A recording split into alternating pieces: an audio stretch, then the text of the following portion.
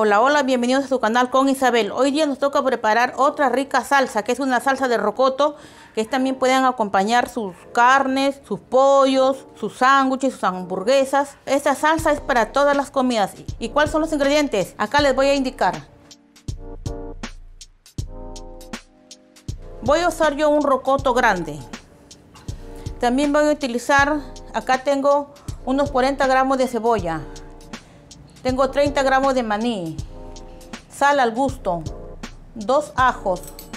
Acá tengo una onza de vinagre. Si no tuvieran para medir con onza, también lo, pueden medir con la tapita de la licuadora que acá indica. Una onza, dos onzas. O de lo contrario, 30 mililitros. También vamos a utilizar 60 gramos de queso fresco. Guacatay, le voy a echar la cantidad al gusto. Y también vamos a utilizar 100 gramos de aceite o 100 mililitros y pimienta al gusto.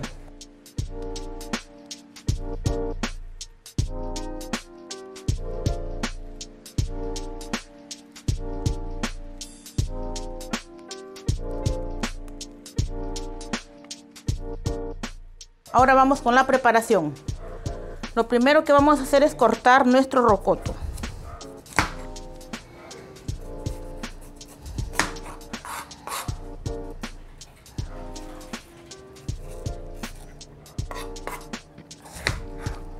Solamente en trozos grandes porque los vamos a llevar a saltear. Si no quieren demasiado picante, le sacan las pepas. Si les gusta bien picante, lo dejan las pepas. Pero si no les gusta tan picante, porque a veces también cuando pica mucho ya no se siente el sabor de la salsa, sino más el picante, entonces le vamos a retirar las pepas. Solamente las pepas, después la avenita le vamos a dejar ahí y lo vamos a cortar en trozos grandes. Igual también vamos a cortar una cebolla también en trozos grandes. Aquí también vamos a poner el ajo y vamos a ir a la cocina a hacer nuestro salteado pero abriendo todas las ventanas porque el rocoto, el olor es muy fuerte y también me voy a poner una mascarilla para que el olor no me vaya a ahogar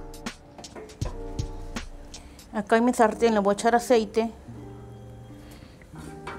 Como les digo, abran bien sus ventanas, sus puertas, porque el olor de rocoto es fuerte.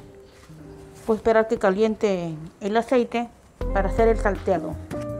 Una vez que mi aceite calentó, le voy a echar el rocoto, la cebolla, los ajos, el guacatay y el maní. Y todo esto lo voy a saltear.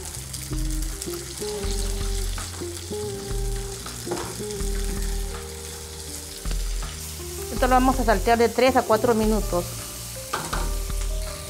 Después de haberlo salteado unos 4 minutos, voy a apagar la hornilla, voy a esperar que se enfríe para hacer el procedimiento que sigue en la licuadora.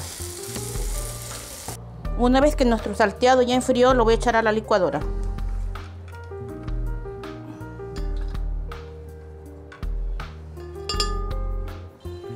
Acá le vamos a echar un poco de sal. Poco porque como este queso fresco también tiene sal y entonces vaya a salirlo muy salado, así que le he echado poco.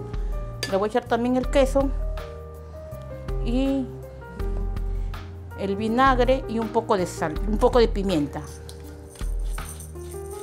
Y lo voy a licuar.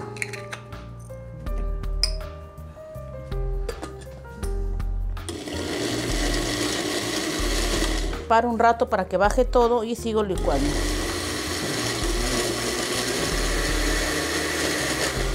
Dejo que baje, me apoyo con una cuchara o una espátula y sigo licuando.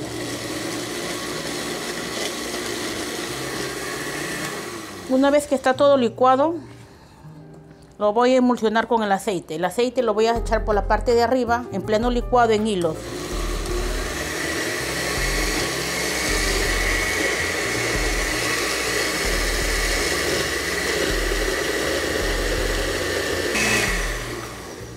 Aquí le vamos a probar la sal. Si le falta sal echamos.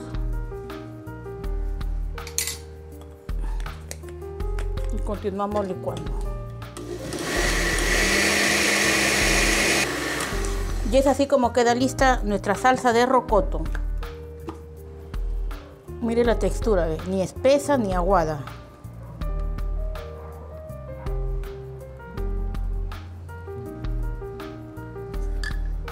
Como le digo, esta salsa es muy rica, pero tienen que tener cuidado cuando lo hagan. Abran todas sus ventanas para que se salga un poco el olor del ají. Este, hagan esta receta. Como le digo, este, esta salsa de rocoto puede acompañar todas sus comidas. Sigue suscribiendo a mi canal y también síganme en mi página de Facebook con Isabel.